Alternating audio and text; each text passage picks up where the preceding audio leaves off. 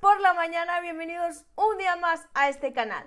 Hoy os traigo la review de una paleta que eh, pues es china. Es china, tenía aquí para hacer la review desde hace mucho tiempo y no la había hecho. Vaya por Dios. Bueno, la review es de esta paleta de la Emancipation número 2 de You Can Be y es esta mm, hermosidad de paleta. Sí, es un clon, un dupe de la subculture. Ahora vamos a ver qué es lo que yo pienso. Y lo que vamos a hacer es pues un look cualquiera para probar un poco los colorines. Lo primero deciros que el packaging es precioso, precioso, precioso, negro mate con un estampado brillante en, en flores y mariposas, no sé si se puede apreciar ahí, y además el logo de la marca en un estampado brillante dorado. ¿Lo veis ahí? Espero que se pueda ver bien. Luego la paleta es de un cartón duro, forrada en un papel negro, no tiene espejo. Eso, bueno, me da un poco igual ahora porque tengo un espejo aquí, pero por ejemplo, si me la he de llevar a algún viaje o algo, pues me gustaría que llevase espejo. Yo soy de las que a mí me gusta que las paletas lleven espejo, aunque a veces me da igual, pues mm, ya que tenemos esto aquí así, pues ya de paso aprovechamos y le ponemos un espejo, porque la paleta no es transparente, se podía haber puesto y además lleva una brocha. Una brocha que os cuento, yo pensaba que era un poco cacurcia, pero al estar tocándola así y tal, Em, no es tan mala, o sea, no es una brocha buena, buena, buena de estas. Pero te hace el apaño muy bien y tampoco es que sea mala del todo. Tiene un pelo muy suave, sintético, y tiene un lado planito para aplicar sombra y otro lado eh, que puedes utilizarlo en plan boli, yo lo veo más en plan punta de boli, pero si les tiras un poco así el uso, como que no quiere la cosa, te puede servir un poco para difuminar. El precio de esta paleta a mí me costó como unos 6 euros, una cosa así.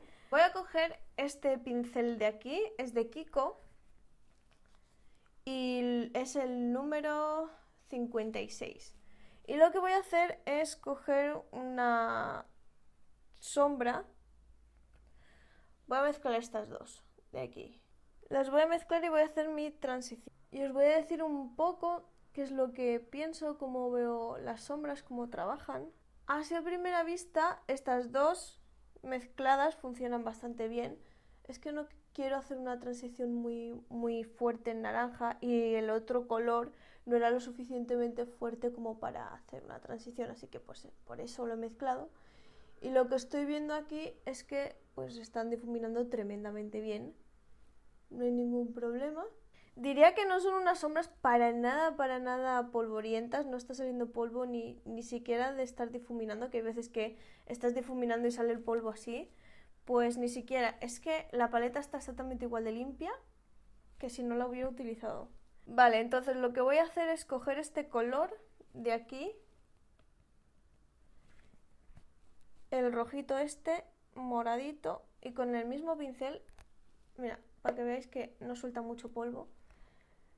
Lo que voy a hacer es maquillar aquí en la parte externa del ojo y lo voy a ir introduciendo un poco dentro de la cuenca. Ni un parche, ni una caída de sombra, nada, absolutamente nada.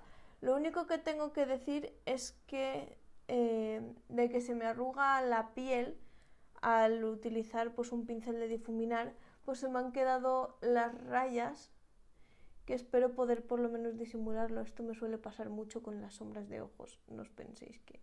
Así que lo que voy a hacer es intentar difuminar esto, así lo voy a meter más para adentro a ver si consigo taparlo. Y lo que voy a hacer es, mira, con el mismo pincelito voy a coger el color verde,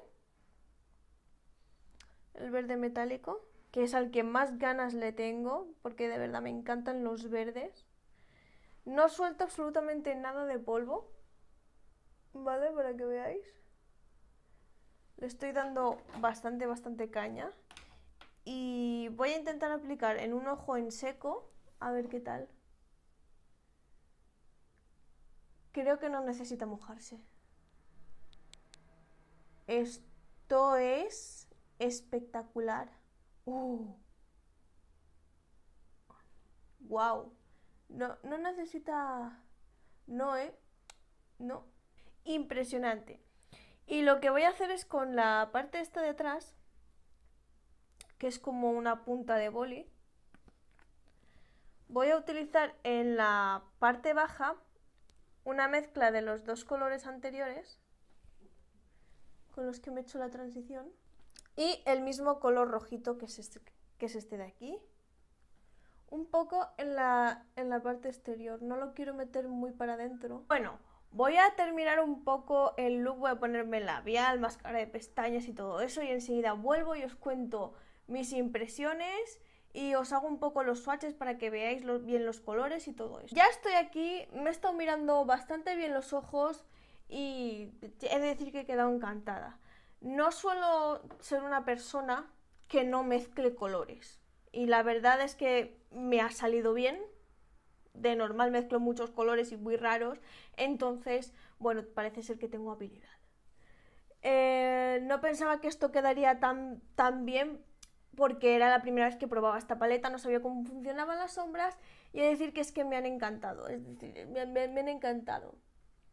Os tengo que contar un poco cómo son las sombras, ¿de acuerdo? Vamos a empezar a hacer swatches y voy a empezar por la primera línea, ¿de acuerdo? Quiero que los veáis. Los primeros cuatro swatches y flipad de la pigmentación que tiene esto por 6 euros, ¿vale? Flipad. Los siguientes cuatro, por cierto, estoy haciendo los swatches sin prebase, ni base, ni nada debajo. Con lo cual esta es la pigmentación real y es una pasada. Este es el morado más oscuro. El verde así en swatch, en la mano, no llama demasiado la atención. Es decir, no pigmenta una mierda. Tú lo ves y, ve, porque lo he probado en los ojos y, veo que pigmenta, que si no, yo pensaba que, que justamente este color iba a ser una mierda. Y el verde también pigmenta muy bien para ser un verde y además mate y es una pasada. Mis primeras impresiones con esta paleta es que es buenísima, merece mucho la pena. Si queréis un clon de la Subculture y no os atrevéis a invertir 50 euros en esa paleta por todo lo que dicen de ella y todo eso, que si ha sido muy mala y tenéis miedo en hacer esa inversión, os recomiendo que, pues, si queréis los mismos colores y tal, estos son muy, muy parecidos. No digo que sean realmente exactamente los mismos, pero sí que creo que se parecen muchísimo. La paleta es casi casi clavada diría yo, es que es muy muy parecida y además por menos de la fracción del precio obtienes el mismo producto o creo que un poquito más. Aquí estas sombras tienen casi un gramo y medio, no sé las originales cuánto tienen, creo que no llegan al gramo. Pero la verdad es que la pigmentación eh, es flipante. Y bueno, hasta aquí el vídeo de hoy. Espero que os haya gustado mucho. Si ha sido así, pues dame pues, una manita arriba porque me la merezco. Suscribiros al canal si no lo estáis. Y recordad que me podéis seguir tanto en Instagram como en Facebook como Makeup4You16. Por ahí nos vemos y pues, os subo cosas que me pasan por la, por la azotea. Un beso muy grande a todos y nos vemos muy pronto en el siguiente vídeo. ¡Chao!